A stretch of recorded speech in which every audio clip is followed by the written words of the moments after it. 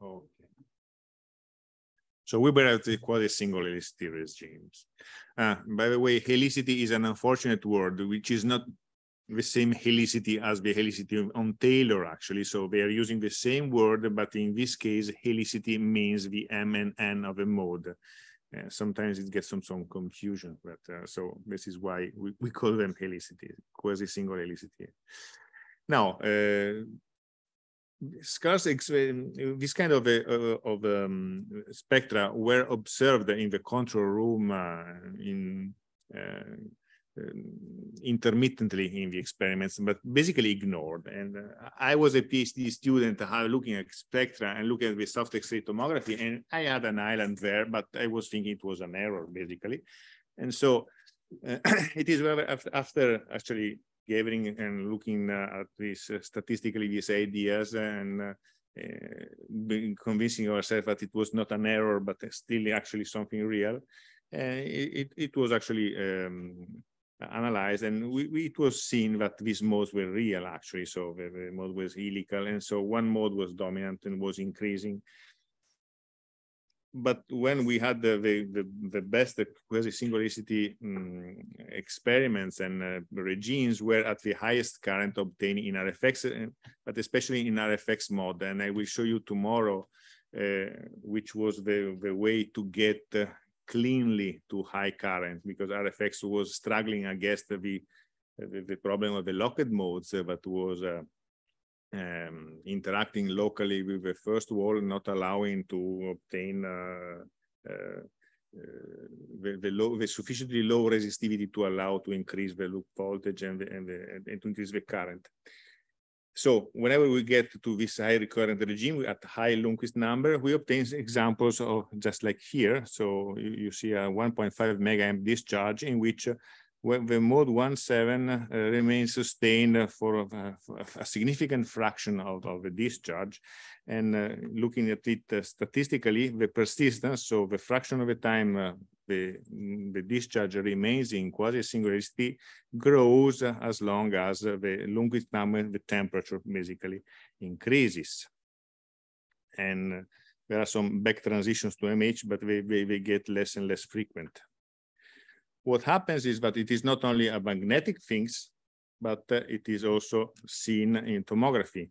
So uh, once uh, I begin to, to, to, to look at the soft X-ray tomography together with magnetics and correlating the two, the, the two um, measurements, we were seeing that the, the, the position of the structure seen in soft X-ray tomography, which is located in one poloidal location, it, it was uh, uh, randomly appearing in different locations uh, uh from shot to shot. And uh, this was related to the fact that the modes were locked in different locations uh, so from, from shot to shot. In RFX-mod, we were able to make them rotate during a single shot slowly. And this is an example shown here in which actually the phase of a mode as measured from outside and the location of a O point, or actually of the hottest point of a soft X-ray tomography seen here, actually they match nicely. That was a one megaamp, 1.1 megaamp. So it was kind of an intermittent QSH, but still, so we have the magnetics and the, and the, and the soft X-ray tomography. That was one of the first um, convincing uh, evidences of QSH helical ones. And then growing in terms of current, we found that there were actually two kind of structures. So these nice structures, uh, which were located, helical structure located inside the plasma, which were occurring in different angles because actually our diagnostics are located in different poloidal locations. So soft X-ray tomography is uh, 90 degree apart from the Thomson scattering. So in one case it was up, in the other case it was out. And um, remapping these kind of things, it turns out that it was actually helical with the same helix, uh, the same helicity, uh, the same mode number n as uh, the mode measured by, with magnetics. But what was uh, found uh, whenever we went to a 1.5 megaamp uh, regimes, what that in some cases with Thomson scattering, this, this is a measurement of temperature along an equatorial plane, were much wider than what we used to see in the 1.1, 1.2 mega amp regimes, which is a narrower. And so we had two kind of uh, of of of, of um, structures, so the wide structures and the and the small structure. And uh, looking to the Poincaré plot, but uh, I will in the next lesson uh, uh, guide you again to this kind of Poincaré plots uh, done only using the dominant mode it turns out that the wider the wider structures corresponds to states which are purely helical. So these are not island anymore. So these are called single helical axes. So these are deformed uh, uh, cylindrical structures. While the narrower one were uh, the narrower one were related to uh, real islands in the sense of one which you can uh, compute with the formula of small island widths and these are the, uh, the, the, two main uh, transitions. And we will see later how it depends uh, on the mode amplitude. And another important thing that was related to this kind of structure. So the RFP was not uh, actually uh, axisymmetric anymore. It was an there was an equilibrium associated with this kind of structures, and uh, at first computing numerically following the field lines and then adopting uh, the uh, tools typical of stellarators. So whenever the equilibrium is 3D, we were able to see that the Q profile is not monotonic anymore in the case of the helical structure, but it has a maximum so it's ironical because actually you want to avoid a maximum, a minimum of the Q, but you end up having a maximum of the Q whenever you get to the higher currents. So it, it shows you that uh, things are really nonlinear if it changes in the regimes that you are you are studying. And so the presence of a maximum in Q, it is actually uh, intrinsically related to the helical state. And this is confirmed whenever we were using VMEC and giving you it, the, which is the equilibrium code of the stellarator, giving us constraints the measurement of the, the, the, the pickup coil, so the, the helical component and the flux and the current and so on and so forth. And the Q profile to which it converges has a maximum verse and where which is characterized by the fact that uh, the uh, number seven, which is the actually the periodicity of this helix, is not resonant anymore. And curiously, actually, um, the Taylor the Taylor the conjecture came to place. Actually, some colleagues of us uh, asked our, our, data, and they tried to uh, implement the following idea, which I find in, in interesting actually. So if you remember, Taylor's theory supposes that uh, uh, you have your plasma confined uh, in, um, in, in, in, a perfect conductor and the whole helicity, now the helicity in the sense of Taylor, so A scalar, A cross J, the, the total integral, is concerned that you minimize the energy and analytically you obtain the, the, the BFM what these groups, Dennis and others, uh, suggest, they say, imagine that the plasma is separated in different regions and the minimum number of regions is two, and you prescribe the helicity and energy separately on these regions. So it is depicted here, basically. So the idea is that you have your, your, your conserver, the flux outside and the helicity outside, the flux inside, the helicity outside, and you have to specify in this theory where the um, which is the flux of uh, that determines uh, the region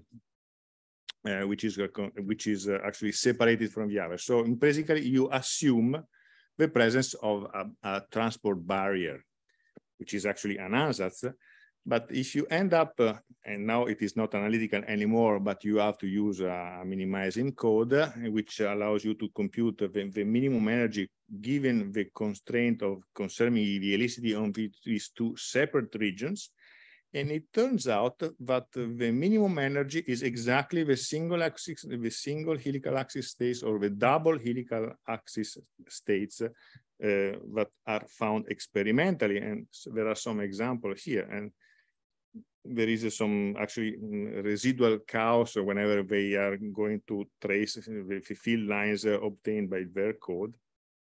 So it means that uh, there seems to be something in the, the Taylor's theory also in these helical states. And so uh, this is very recent actually result and something which is worth looking at and thinking to. So this was basically the end. There is many more things, but actually I'm summarizing.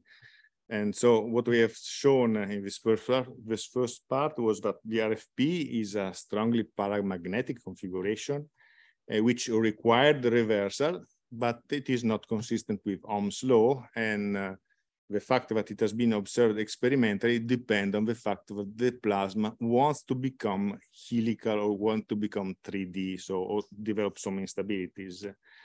And uh, this can be explained uh, or described in terms of an universal curve in the F theta plane with some empirical Bessel function model, which are different kind of uh, explanations, uh, so which gives us some glimpse of ideas just to describe the, the, experiments, but basically we had to rely on the viscoresistive uh, simulations uh, and on global modes. So this is what we deal with and one of these global modes actually was uh, responsible of the uh, transition from the multiple helicity to the quasi-single helicity states, uh, which in itself then split in two. So the quasi-single helicity double helical axis whenever the amplitude was not high enough, and then the single helical axis.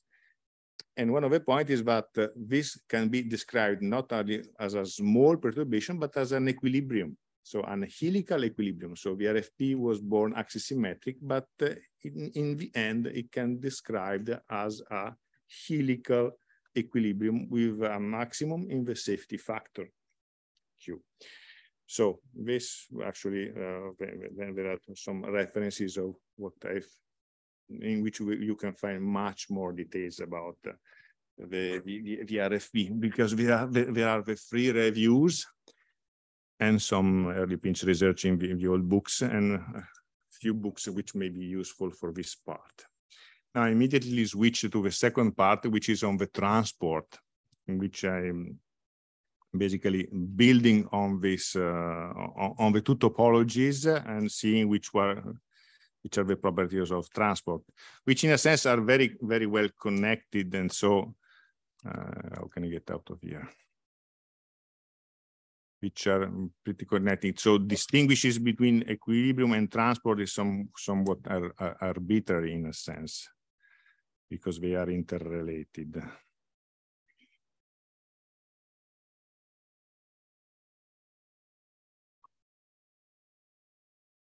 Okay.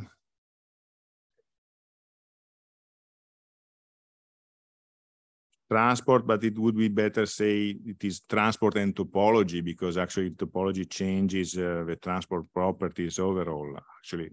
And so in a nutshell, and so if we had to do this lesson in a few minutes, uh, that would be the, the main message that uh, the core transport properties of the RFP are described in the framework of stochastic fields generated by global modes. But the point is that the phenomenology is so rich that it cannot be simply um, uh, rephrased in terms of amplitude of magnetic fluctuations so per se. So there's much more uh, richness in regimes. And in some uh, transient experimental conditions, uh, there are ex um, experiments in which this stochasticity is disappearing but uh, they, it happens only uh, transiently. And so now I'm going through uh, just to show some examples. Now, a few few slides in which I will recall something probably you are very familiar with about basic stochastic transport. I will um, show what we did on, uh, on transport in multiple helicity, just to see how the basic uh, the stochastic framework works in that regime. And then uh, I will switch to the quasi-single helicity um, regimes in which transport actually is more complex, meaning that you have to distinguish regions. And so the same modes that plays for transport, they also plays for topology. And so uh, it's not so easy to, to, to draw a simple scaling law. And the last part, I will briefly show some results from, on transient results in which you in some experiments in which these modes are switched to very low level. Now, uh, you all probably all know about the Chirikov stochastic instability parameter, which means, uh, which tells you whenever your uh, magnetic field becomes stochastic. Now, I recall it just to show uh, that it won't work in the quasi-single helicity state, or at least it needs to be modified. It always work, but uh, we, we, but you have to be dealt with uh, some care. So the basic idea, that, as you all know, that if you have to neighbor island opened by no matter what kind of resonant perturbation, say can be a magnetic instability, a field error, uh, very fine scale grain turbulence, no matter what, if they overlap, so if the, the, the distance, the half distance of the two uh, islands uh, is less than the distance, you have distinguished these three regimes. We, whenever they are not overlapped, they are actually uh, only distorting field lines even if inside the island there may be some some uh, some transport and so the island may be flat itself so it may in, in any case influence transport if they are barely touching uh, uh, magnetic field lines are weakly stochastic and there may be some remnant structures. And actually, I will show you that we have measured some kind of this kind of, of, of structures in some regimes. And whenever they are much greater than their distance, in principle, in the region of a fully stochastic uh, regime you are, and then um, magnetic field lines wander stochastically and they flatten every, every gradients.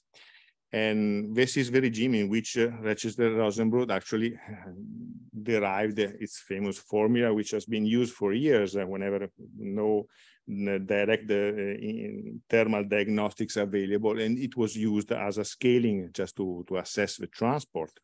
Now, in the case of the RFP, the resonant uh, global modes, in fact, the tearing modes are the one responsible for generating this stochasticity and due to the Q profile that I've shown you, uh, if the amplitude of the modes is sufficiently high, these islands may overlap, especially in the region uh, near the reversal surface in which uh, we have a packing of, of irrational surfaces. And um, so it is more and more easy to, to, um, to, um, to, to, to, overlap and to get the Chirikov criterion going much higher than one. Uh, this figure I will show you later, later on no, the point is that uh, which is basically the, the mechanism of uh, the stochastic uh, um, transport. It is based on the stochastic instability of in trajectories.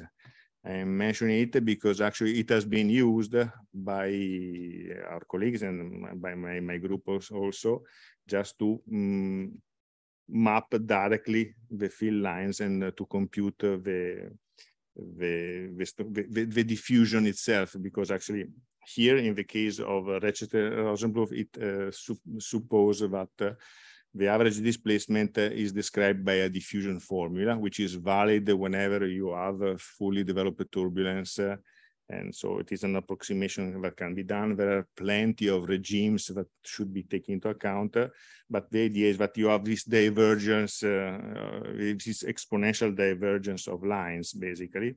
And so you have this, uh, this uh, coefficient. So for an experimentalist, this is a number. This is a coefficient that scales with something that you have to want then to compare with our, with our measurements. And uh, the point is that whenever you have the, the field lines that are actually uh, diffusing, the particles will follow because actually transport uh, along the lines is much faster, 10 to the six times typically than the transport perpendicular. And then you have this scaling formula in which if you assume that the transport is local, which is a strong assumption in any case, but in the fully developed uh, turbulence, you, you can do it. Your transport coefficient depends basically on the scaling of the, of the fluctuations uh, to the square, to some auto correlation length to the temperature of the particle. So uh, the, the lower the radial perturbations, uh, the lower the transport and the scalings basically that experimentally were measured, we're trying to seek this kind of, of dependence.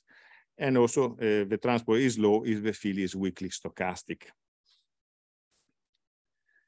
Now, uh, with the advent of uh, high resolution uh, mm, spatial diagnostics, uh, we tried to basically uh, compute the effective coefficients and compare with stochastic theory.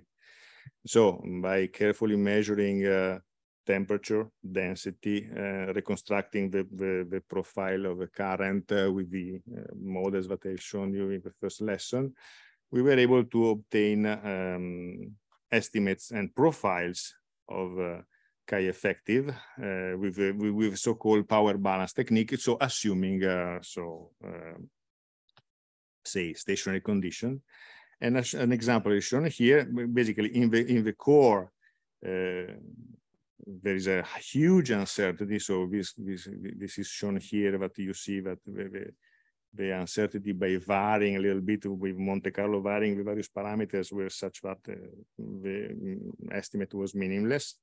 There is a minimum near the near the core, the, near the edge, and this is typical. So the, the RFP confinement is basically minimum in, in an edge region which is nearby where the reversal surface is located. And there is a region in which you have some chi here, so the chi core where there is some uh, residual gradient. Clearly, these are multiple helicity, so uh, some, some strong turbulence. This number compares with uh, Rechester and Rosenbluth and our colleague in uh, Madison basically reconstructed and recomputed uh, the um, magnetic field lines starting from um, the eigenfunctions, so the radial perturbation uh, reconstructed with an MHD viscoresistive code. Um, they did it with viscoresistive, we did uh, with a linear analysis. Uh, in any case, in both cases, we had to rescale this kind of, of line of um, measurements in order to match the, the external measurement. So we had to rely on the measurement of the, the, the, the magnetic field perturbation at the edge and feeding these kind of lines inside a field line tracing code, a Poincaré plot like this one uh, was obtained. And by the way, in the paper, they do not uh, actually notice that there are there is an, an n equals six island here. And later on, they admit that this is a QSH, but they, they focused on the region in which uh, fields are, are, stochastic. And in fact, what they did was they did a power balance, just like we did in RFX. And so comparing, uh, obtaining a, an effective value with, with, uh, with a similar uncertainty, which is the gray area due to the fact that whenever the temperature has no gradient, it's difficult to estimate uh, the, the effective, um, the effective chi. And we compared with uh, stochastic in two ways by the simple application of the Rechester and Rosenbluth formula, so using the square of the fluctuations and estimated the, the autocorrelation length uh, with the field line tracing. And uh, it is shown here, basically. So it basically is, it is in the gray area in the region where the, the um, Chirikov parameter is rather high. It doesn't work inside, so into the core whenever actually there is some uh, actually uh, uncertainty, but uh, there is also the remnant islands, the QSH, and it doesn't work at the edge. But in this case, because they were not using eigenfunctions to, to deliver, uh, to, to obtain stochasticity in that region. In any case, I will show that uh, the Q equals zero act as a, barrier, so there cannot be stochasticity unless in some toroidally localized region, I will show. So the message here is that uh, in multiple helicity, uh, the um, transport is, is chaotic in, in between, not in the core and not, and not, uh, and not in the edge. Uh, the fact that it works, but not that much, uh, was also retained but when looking at the scaling uh, with the magnetic fluctuation. So in RFX, we were able to gather the chi effective averaged in what is this written core in the paper relates to half radius. So basically where uh, the, the chi is, is meaningful. And uh, by um, considering the, its dependence uh, with respect to several um, um, ensembles and in which uh, the Lundquist number could be estimated, it turned out that uh, there was a, um, a scaling dependence with this number, minus 0.77.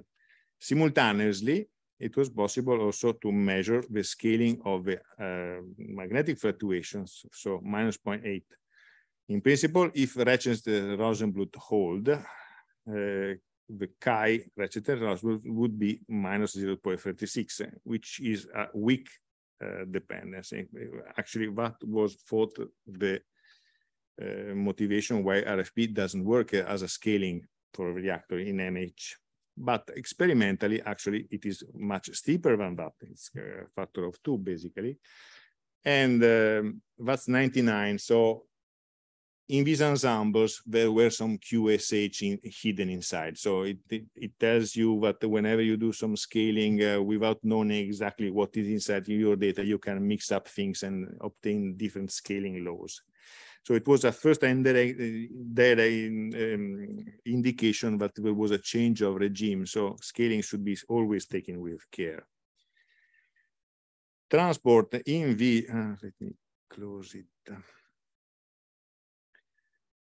Transport uh, in the edge is not stochastic, and that was proved uh, with some direct insertable probes by our colleagues in Madison, uh, in which we used, uh, we actually measured the, the, parallel flux, the Q parallel fluctuations. They measured the radial field, so directly, so without you know, not being mediated by some uh, uh, Fourier analysis. And it turned out that inside the reversal, uh, it was com compatible, which was what coming with the, the ohmic flux coming from, from the core, while outside it was not. Uh, it, it was negligible, basically. So other mechanisms, so electrostatic uh, fluctuation were responsible for transport outside. So uh, the Q equals zero surface uh, act as a weak barrier in a sense. Why don't you? But the point is uh, even in MH, uh, the transport in the um, in the axisymmetric um, in, in, the transport in the edge part uh, of, of a discharge is not is not symmetric. And this is a, a, figure taken from a paper in which um, um, magnetic ma magnetic profiles taken from a viscoresistive uh, uh, simulation by the SpeCyl Code, which is located in Padova. Just to illustrate, uh, someone asked me which was the, the structure of M equals zero modes. And this was actually an, uh, an experiment, uh, actually a thought experiment. So it's, uh, it's only, only theory. So instead of using all of the modes, three Poincaré plots are shown here. And so in the first in the first row, it is a Poincaré plot used um, um, performed by using only the m equals zero modes produced by this mode, which is a, basically a cylindrical mode. And so these m equals zero modes uh, do not show, do not do any chaos because actually Chirikov does not, does not apply whenever all of the modes are resonant or exactly on, on, the same surface, but you have a modulation. So you have several rings uh, with different shapes and they are there. The second, it is also very interesting because uh, whenever you uh, do a Poincaré plot with only m equal one modes, you still see m equal zero structures or islands. And these are due to the fact that these, that these m equal one modes interact themselves with the equilibrium. And so there is some structure. And as these modes are phase locked, as I shown at the beginning, all the phases tend to be aligned in this code, uh, they are aligned in zero there is this barrier effect due to this m equals zero structure in everywhere but where all of the the n equal ones are pushing the the, the the, the, lines the magnetic field lines away and so the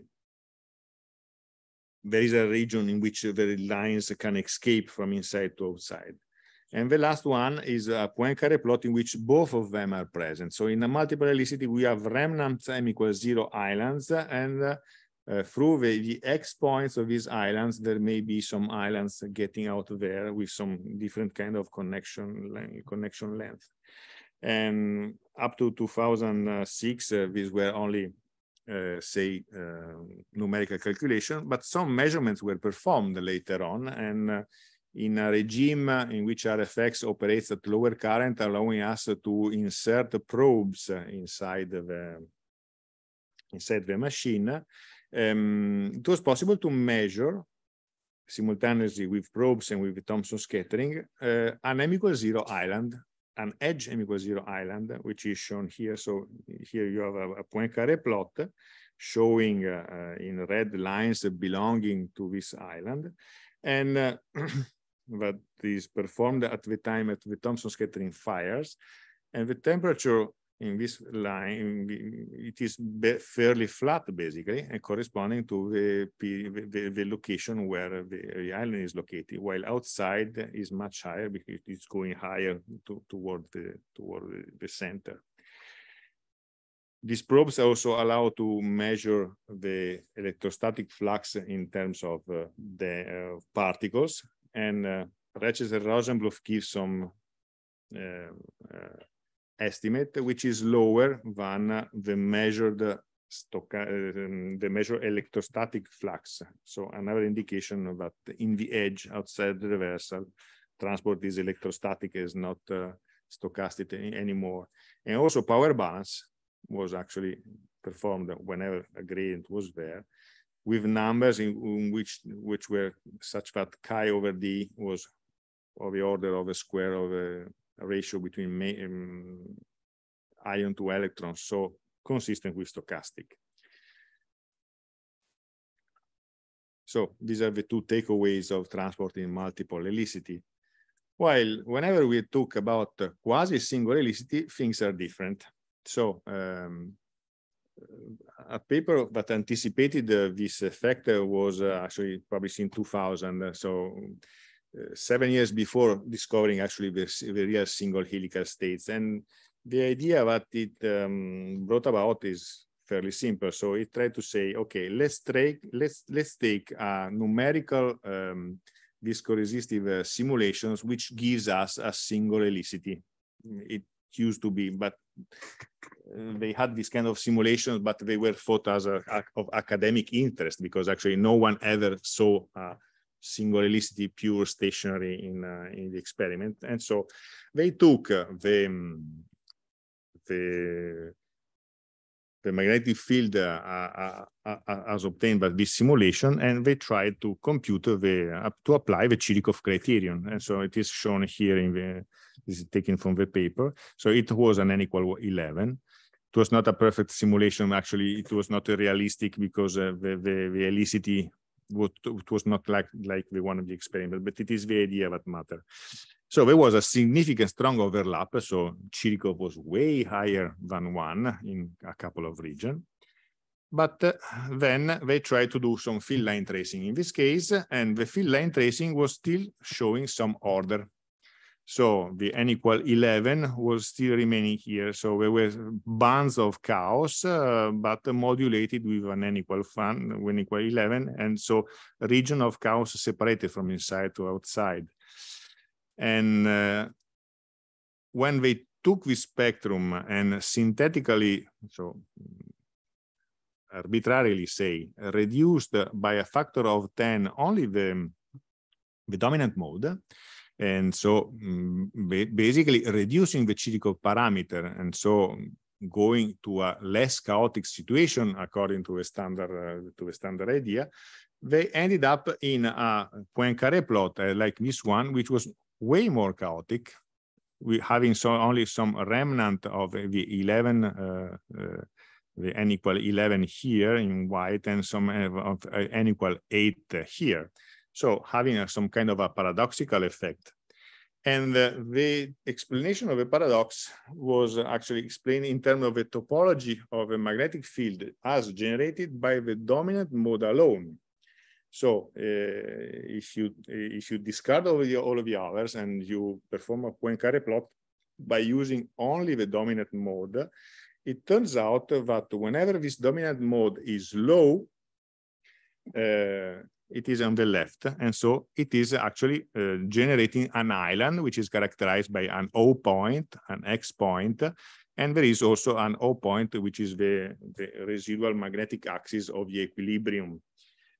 Uh, as long as you increase the amplitude of this mode, the, the two, the O point, the, the O point of the magnetic axis of the, or, or the original one, say, of the unperturbed one, and the X point gets nearer and nearer, and at a certain point they coalesce and they merge together, and uh, you obtain what is called a single helical axis. So, and this is the, the why uh, reducing the field uh, was generating more chaos because the presence of an X point uh, now for the for the guys who belong to the Hamiltonian club, to which I do not belong, they they they think that it is very common to understand that in the, whenever in the orbits there are x points, this is very easy, very prone to chaos. So whenever you have some perturbation, this may may grow. While whenever the x point is expelled from your system, it is more resilient to chaos, and this is what seems to be happening also in the experiment.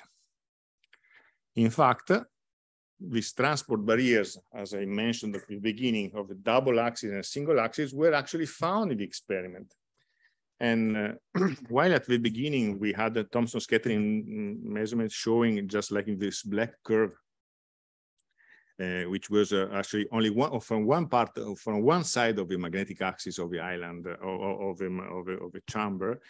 Uh, it happened that sometimes we had these wide, these wide things um, extending way uh, above the the magnetic axis, so from the, from the, from both sides. And when correlating with the amplitude of the dominant mode only, it turns out that there was a threshold. So thermal structure, wide thermal structure, were obtained whenever the mode was above a certain threshold.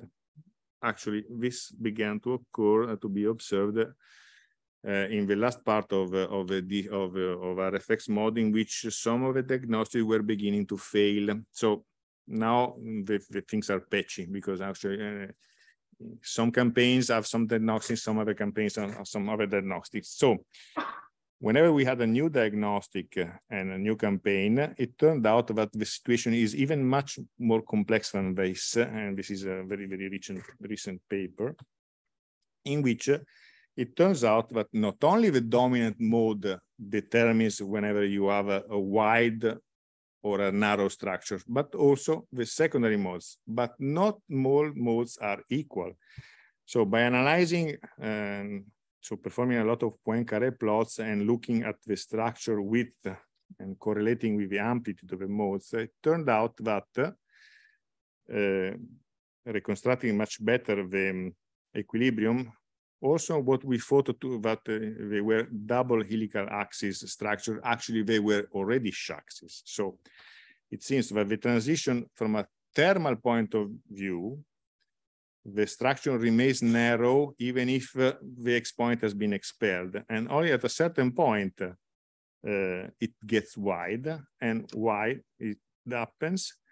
It happens because the innermost um, resonant mode remaining because in the Q profile that as I mentioned has a maximum. So the seven is not more there but the eight and nine in our case are the ones which are still there.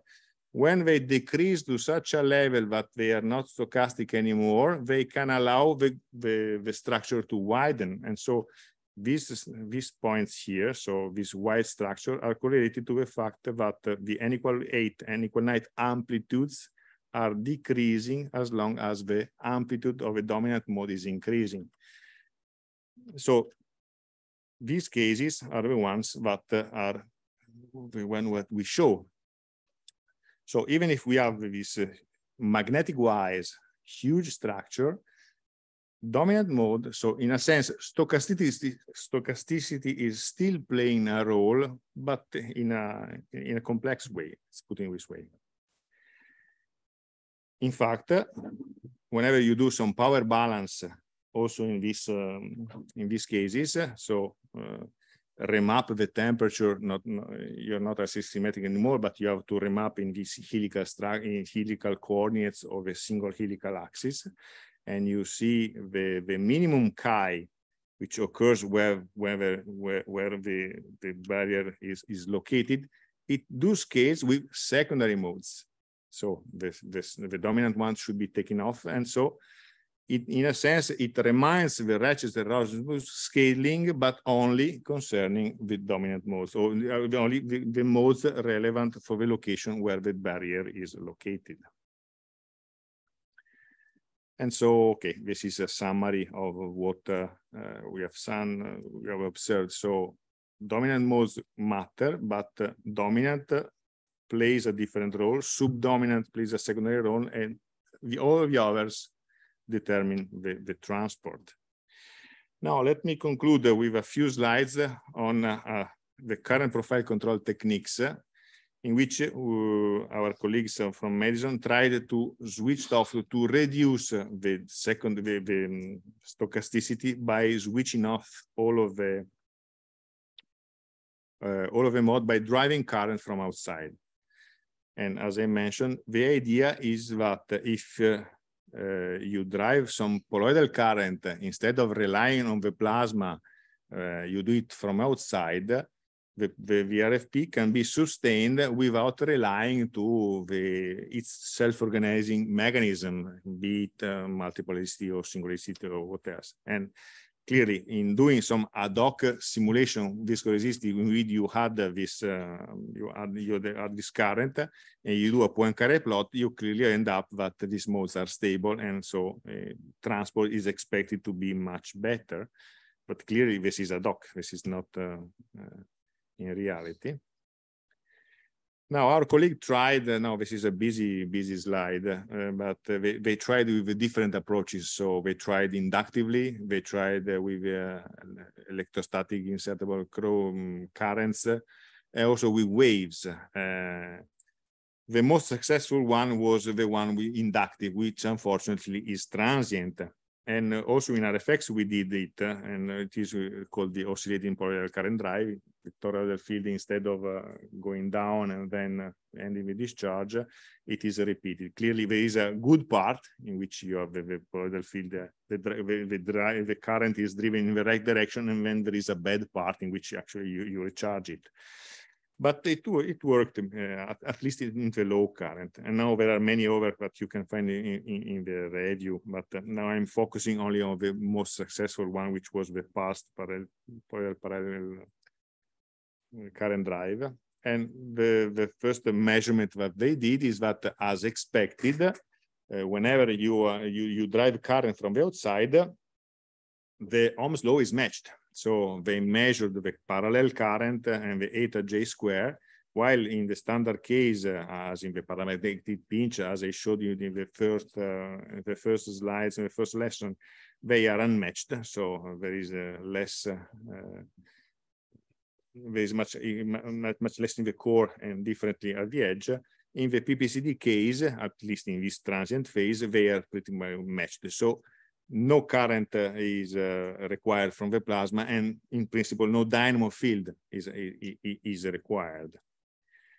And this is a time trace here basically. So you see that the B phi is reducing in, in time. So there is a pass there. And so what happens is that the, the root mean square of, uh, of fluctuation, so global modes do decrease during that good phase, and while they recover whenever you are in the anti-PPCD phase.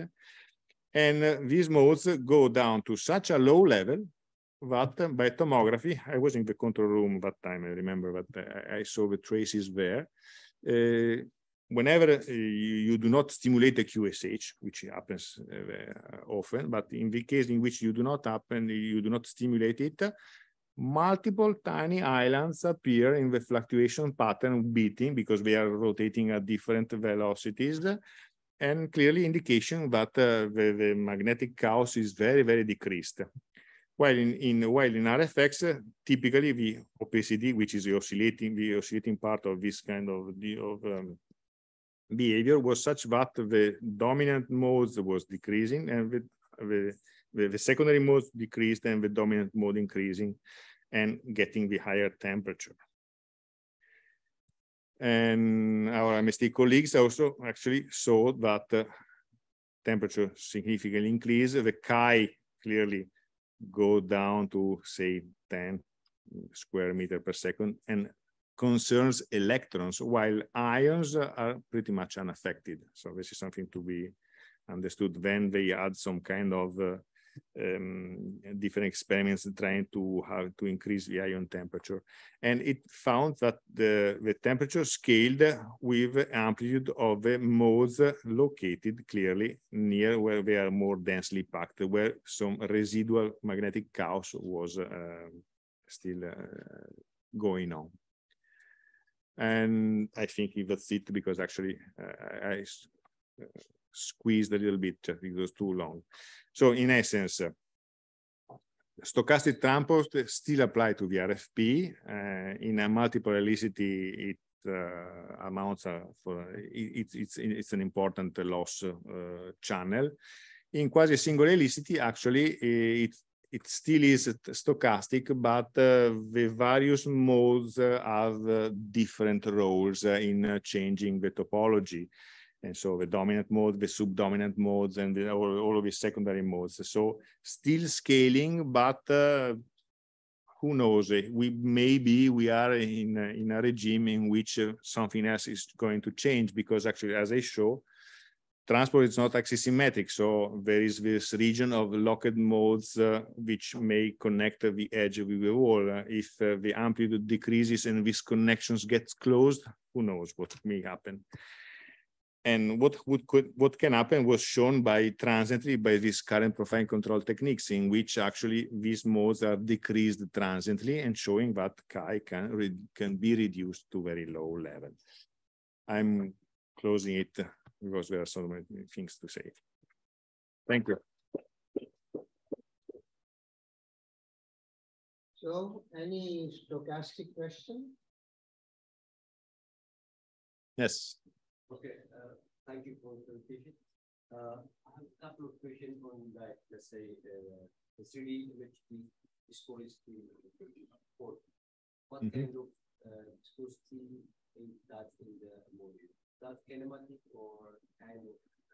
Uh, the point, this is the, exactly the point that we are struggling with, say, for the experimentalist, ex uh, viscosity is a number. They plug it, they do their, their simulation, that's okay. And then they tell us, okay, measure it.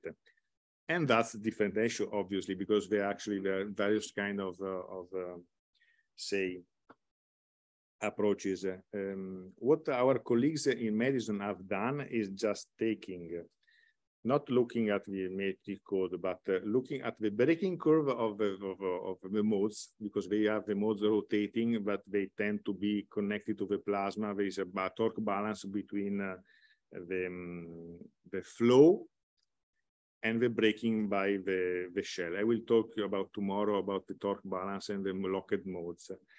And by measuring this curve, um, it depends on the amplitude of the, of the viscosity parameter. And in some cases, it seems that it can be better represented by stochastic viscosity. And so it is not Braginsky. But then it is the perpendicular one, the parallel one, and not really expert. And so the point is that we are eager in RFX-mod to start again experiments because from the beginning we were forbidden this kind of experiments because modes were locked from the beginning, so nothing rotates, so you cannot measure anything. In RFX-mod 2, in principle, these modes will be rotating. So we would now we have much better diagnostics. In principle, we can measure and estimate this viscosity. But okay. Yes. And there was global image global. The global modes. Huh?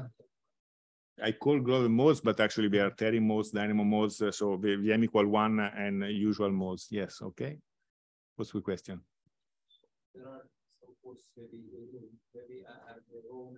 I may be wrong. Uh, in space uh, plasma. Uh, yes. In the solar wind, uh, there are a kind of global energy force that uses uh, isotropic uh, and uh, so Ooh, good point. All of the simulations typically are zero pressure.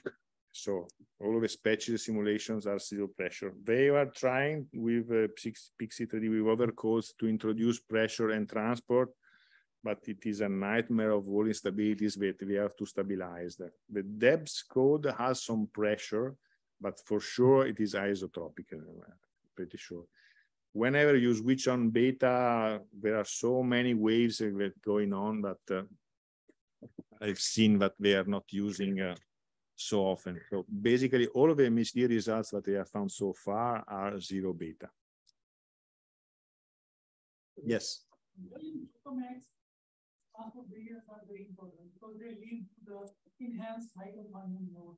Yes. I'm just curious to know about the We are curious too, actually.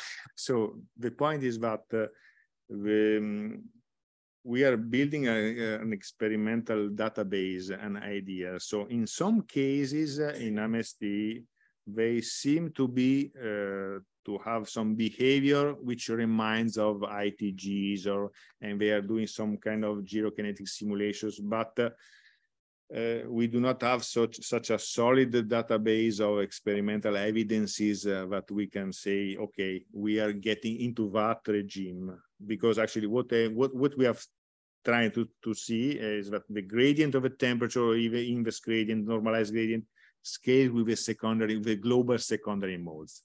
But this is how whenever you lose your key, you look uh, below the lamp, wherever you see. So because this is what we measure. Uh, in RFX module, we will have a wider uh, array of, of, of um, pickup sensors and resettable sensors. So we will look at wider, um, say, MHD uh, fluctuations are lower, lower time scales, and we, we will try to see. But so far, we, we, we basically do not know. We have some indirect evidence in, in the, the um, there's a couple of figures in the review in which maybe the effective chi may be consistent with some kind of gyrokinetic uh, computation in the, the very edge of the figure, probably, but who knows. Any other questions? If not, then we will thank you, Lionello. Thank you. And, uh, so some somebody reminded me that I'm supposed to be talking this afternoon. Is that true? Okay. So what I will try to do then is to give you um, some kind of uh, physical